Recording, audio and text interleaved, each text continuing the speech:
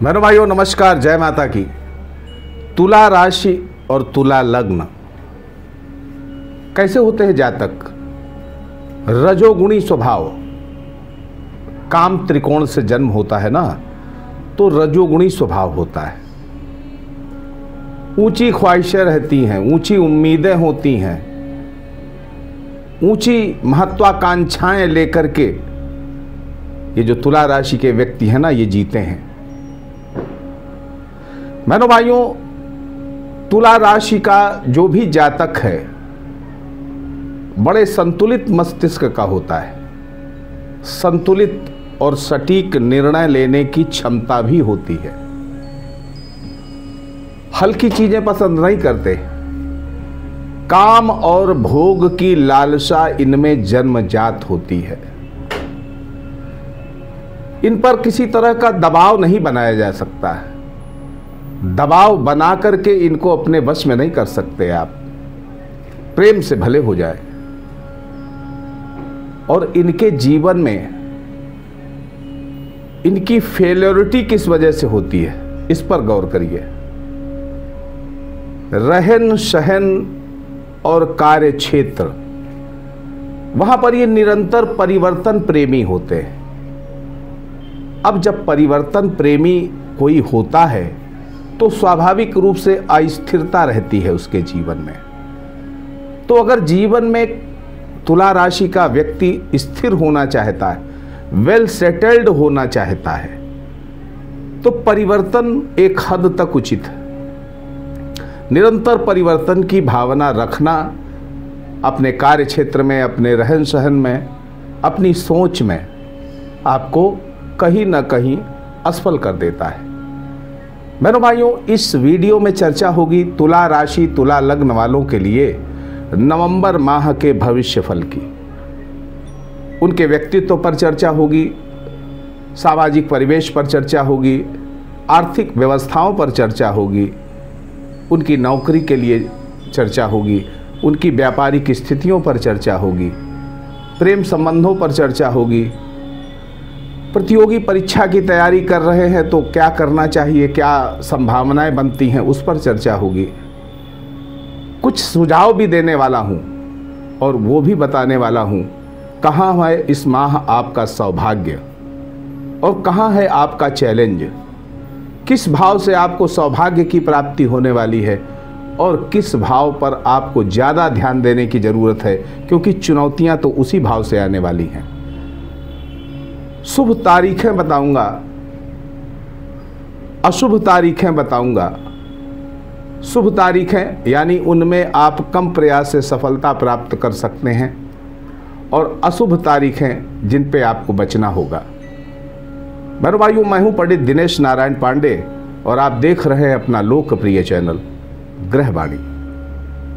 बहनों, भाइयों, नवंबर माह में आपका जो प्रवेश हो चुका है, कुछ उम्मीदों के साथ, कुछ महत्वाकांक्षाओं के साथ। मन में अभी दुविधा है कि ये महत्वाकांक्षाएँ, ये अरमान पूरे होने वाले हैं कि नहीं होने वाले हैं। तो बहनों, भाइयों, खुशी मनाइए कि इस महीने आपके अरमान, आपकी महत्वाकांक्षाएँ, आपकी उम्मीदें शत प्रतिशत पूरी होने वाली हैं। क्योंकि आपका जो सौभाग्य है, वो आपके भाग्य भाव पर है। यानी इस माह भाग्य का पूरा सपोर्ट आपको मिलने वाला है। बहनों भाइयों, ग्रहों का गोचर आपके काफ़ी हित का है। प्रेम संबंधों का लाभ मिल सकता है। धर्म का लाभ मिल सकता है, कुछ दान पुण्य कर सकते हैं, कुछ पारिवारिक लाभ मिल सकता है, कुछ मित्रों के द्वारा लाभ मिल सकता है। सामाजिक प्रतिष्ठा आपकी वृद्धि होगी, ऐश्वर्य की वृद्धि होगी। ये सारी चीज़ें आपके जीवन में इस माह आने वाली हैं। भाई बहनों का भी पूरा सहयोग मिलेगा, सामर्थ्य मिलेगा, उनका बल मिलेगा। नौकरी करते हैं, वहाँ भी बहुत अच्छा रहने वाला है। चलिए विस्तार से बताता हूँ। आपको बचना किन चीज़ों से चाहिए? बहनों भाइयों, ये बहुत महत्वपूर्ण है, इस पर ध्यान दे लीजिए। एक तो वाणी के दुर्वचनों से बचना चाहिए। आप अपनी वाणी पर थोड़ा सा नियंत्रण रखें, क्योंकि तुला राशि के जातक प्रायः वाणी का प्रभाव ज़्यादा दिखाते हैं। और कभी कभी अनावश्यक अनर्गल बातें कहते हैं। तो वाणी के प्रयोग से बचें, ओवर टॉकिंग से बचें, दुर्वचनों से बचें। भाई बंधुओं के बीच में अगर कहीं कोई वैमनस्य पनप रहा है तो उससे भी बचने का प्रयास करिए उसको दूर करने का प्रयास करना चाहिए। चोट चपेट से बचना चाहिए। वाहन के प्रयोग में बहुत सावधानी रखने की ज़रूरत है। शरीर में बात वृद्धि हो सकती है, बात विकार हो सकता है। इसके प्रति भी सतर्क रहने की ज़रूरत है। मानसिक क्लेश इस महीने थोड़ा सा आपको परेशान कर सकता है। बहनों भाइयों, इस महीने अगर देखें तो इम्यून सिस्टम आपका थोड़ा सा वीक नज़र आ रहा है। अब इसकी वजह से होगा क्या कि मौसमी बीमारियों से आप प्रभावित हो सकते हैं। वात व्याधियों से प्रभावित हो सकते हैं। गले और सीने के संक्रमण से आप प्रभावित हो सकते हैं। तो यहाँ थोड़ा सा आपको बचने की आवश्यकता है। और सतर्क रहेंगे तो बचे रहेंगे। मेरे भाइयों, आर्थिक व्यवस्थाओं पर इस महीने की चर्चा करें तो तो राज्य पक्ष से धन सम्मान मिल सकता है। यानी आप, कोई फ़ाइल आपकी गवर्नमेंट के विभाग में लोन को लेकर के है या किसी विषय को लेकर के है, जहाँ से आपको फ़ायदा मिल सकता है तो इस महीने आपको लाभ मिलने के चांसेज हैं उस क्षेत्र से। एकाधिक स्रोतों से धन लाभ हो सकता है। अगर आपने कई योजनाओं में कहीं ना कहीं सोच रखा है और कहीं इन्वेस्टमेंट कर रखा है तो वहाँ से भी लाभ आपको इस माह मिलने वाला है। इस माह आप कुछ अटेम्प्ट ज़्यादा करने वाले हैं, कुछ पराक्रम ज़्यादा करने वाले हैं, जिससे भी आपको धन प्राप्ति की संभावनाएँ बनती हैं। हाँ इस महीने आपको शेयर सट्टा, लॉटरी जैसे शॉर्टकट रास्तों से बचना चाहिए, क्योंकि यहाँ पर थोड़ा सा मुझे आपको नुकसान मिलता दिख रहा है तो यहाँ पर आपको बचना चाहिए। बैंक बैलेंस की स्थिति पर देखा जाए तो बहुत परिवर्तन नहीं हो रहा है। बैंक बैलेंस घटने वाला नहीं है, थोड़ा बहुत वृद्धि होगी, लेकिन इस महीने खर्चे आपके बहुत ओवर रहने वाले हैं। अब जब खर्चे ज़्यादा रहेंगे ही तो स्वाभाविक है कि बचत की स्थितियाँ उतनी अच्छी नहीं हो पाएँगी। बहनों, भाइयों, खर्चे नियंत्रित करने का प्रयास आपको करना चाहिए। नौकरी की बात करें तो जो भी नौकरी में है, सरकार से लाभ मिल सकता है, धन सम्मान मिल सकता है, कुछ प्रमोशन की स्थितियाँ बन सकती हैं, उच्च अधिकारी आपके फेवर में रहने वाले हैं, आपके कुलीग्स भी फेवर में रहने वाले हैं। और न्याय विभाग में जो हैं विशेष रूप से बता रहा हूँ कि जो न्याय विभाग से जुड़े हुए लोग हैं, उनको बहुत अच्छे लाभ इस महीने मिलने वाले हैं।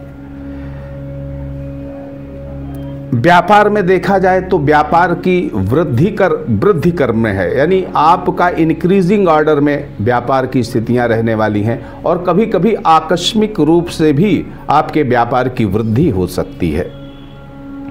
कला से जुड़े हुए व्यापार संगीत से जुड़े हुए व्यापार, गायन वादन से जुड़े व्यापार, ये अच्छे लाभ दे सकते हैं।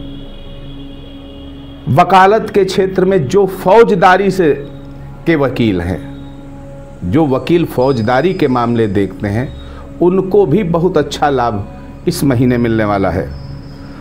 और राजनीति से जुड़े हुए जो लोग हैं, बहनों भाइयों, उनको भी बहुत अच्छा लाभ इस महीने मिलने वाला है। राजनीति में अगर आप संघर्ष करते चले आ रहे हैं तो ये नवंबर माह में किसी अच्छे पद की प्राप्ति आपको राजनीति में होगी ही होगी। प्रयास करिएगा। पारिवारिक और दाम्पत्य जीवन की बात करें बहनों भाइयों तो माता पिता बंधु, मित्र, ये सब आपका हित चाहते हैं, आपका भला चाहते हैं। तो आपको भी इनके प्रति जिम्मेदार होना चाहिए। और इनसे अच्छे संबंध बने रहें, इसलिए प्रयास भी करना चाहिए। परिजनों से वैर का भाव अपने दिमाग से हटाना चाहिए। शत्रुओं का मान मर्दन करने में इस माह आप सक्षम रहेंगे, कोई भी शत्रु आपके सामने सर नहीं उठा पाएगा। जीवन साथी से पूरा सहयोग मिलेगा, पूरा लाभ मिलेगा, आर्थिक लाभ भी मिलेगा, और अगर आपके जीवन साथी आपकी पत्नी अगर नौकरी में है सर्विस में है तो उनकी भी आय वृद्धि के संकेत दिख रहे हैं। प्रेम संबंध की बात करें तो प्रेम संबंधों में कुछ खास विशेष नहीं दिख रहा है, क्योंकि पंचम भाव में स्वग्रही शनि नीरसता प्रदान करता है। कहीं ना कहीं प्रेम संबंधों में नीरसता व्याप्त होती है। मेरे भाइयों प्रतियोगी परीक्षाओं की बात करें तो ये महीना विद्यार्थियों के लिए कुछ विशेष उपाय करने वाला है। क्योंकि साधारण रूप से देखा जाए तो पढ़ाई में मन न लगना, तुला राशि के जो जातक हैं, उनका इस समय पढ़ाई में मन नहीं लग रहा है। मन उचाट हो रहा है। भ्रमित हो रही है बुद्धि कंफ्यूज्ड हो रहे हैं। और ऐसे में प्रतियोगी परीक्षा में सफलता मिले तो स्वाभाविक रूप से संदिग्धता है। तो यहाँ पर आपको करने का उपाय करने का ज, की ज़रूरत है और उपाय मैं बताए दे रहा हूँ। एक मुट्ठी जौ अपने सर के ऊपर से सात बार उतारिए और प्रवाहित कर दीजिए। क्योंकि ये बुद्धि भ्रमित होने की स्थिति कन्फ्यूज़न की स्थिति पढ़ाई में मन न लगने की स्थिति पूजा पाठ में मन न लगने की स्थिति ये कहीं ना कहीं आपके लिए अच्छी नहीं रहने वाली है। मेरे भाइयों, सुझाव की बात करें तो इस महीने आपको मिथ्या अभिमान से बचना चाहिए। धार्मिकता का पालन करें, धार्मिक बने, कुछ तीर्थ यात्राएँ करें, कुछ मंदिरों में दर्शन करें और विशेष रूप से अपने स्वास्थ्य के प्रति सचेत रहें। कोई ऐसी घटना भी घट सकती है जो मन से आपको कष्ट दे दे तो वहाँ पर मन को अनियंत्रित नहीं होने देना है, नियंत्रित करके रखना है। उत्तेजना से बचना चाहिए, क्रोध से बचना चाहिए, और सबसे अच्छा उपाय कि किसी देवी मंदिर में जा कर के प्रतिदिन माथा टेकने का नियम बनाना चाहिए। मेरे भाइयों, इस महीने का सौभाग्य आपके भाग्य भाव से है। कहने का आशय यह है कि इस महीने आपको भाग्य का प्रबल सहयोग मिलेगा। कुछ ऐसे काम जिनकी आप उम्मीद छोड़ चुके थे, वो भी पूरे हो जाएँगे। और चैलेंज आपका तृतीय भाव से है। तृतीय भाव क्या है? आपकी इच्छाओं का है। आपकी, आपके पराक्रम का है, आपके एफर्ट्स का है, आपके मित्रों का है, आपके पड़ोसियों का है। तो वहाँ पर आपको विशेष ध्यान देने की ज़रूरत है।